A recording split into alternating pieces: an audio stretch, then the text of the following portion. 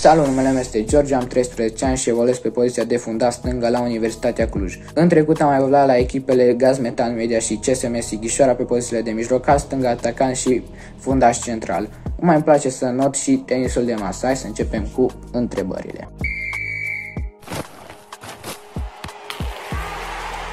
Te-au susținut prietenii, familia, da, m-au susținut și prietenii și familia și încă o fac. Când ai știut că vrei să-ți dedici timpul către fotbal, când eram mic, mergeam toată ziua pe teren, stăteam cu orele și atunci mi-am dat seama că asta este ceea ce vreau să fac. Care e echipa ta preferată? Echipa mea preferată de mic este Real Madrid. Ai fost vreodată să vezi vreun meci important? Dacă e vorba de El Clasico sau Champions League sau așa, nu.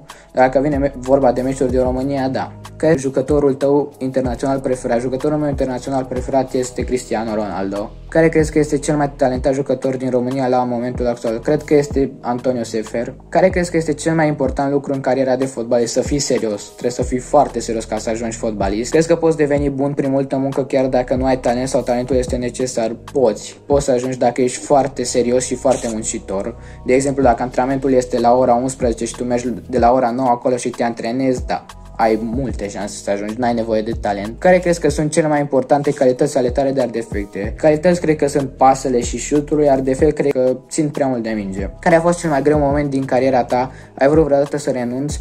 Cel mai greu moment din cariera mea a fost când am avut întors la piciorul stâng și a trebuit să stau în cărje vreo o lună, o lună și mi-a fost foarte greu după să mă recuperez și și acum încă mai am probleme la picior. Nu am vrut niciodată să renunț. Care a fost cel mai greu meci jucat de tine și de ce? Versus cei de la FCSB, pentru că erau foarte bine pregătiți fizici, erau toți cu un cap mai mare ca mine și era foarte greu să-i deposedezi sau să driblezi sau să șutezi. Erau mult mai rapizi. Uh, unde te vezi peste 5 ani? Peste 5 ani sper să mă văd să joc în Liga 1 sau dacă nu și mai bine în străinătate. Ești mulțumit cu poziția pe care joci acum sau ai dori să încerci altceva?